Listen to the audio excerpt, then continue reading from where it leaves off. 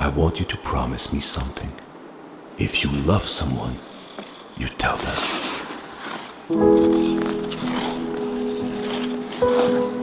them.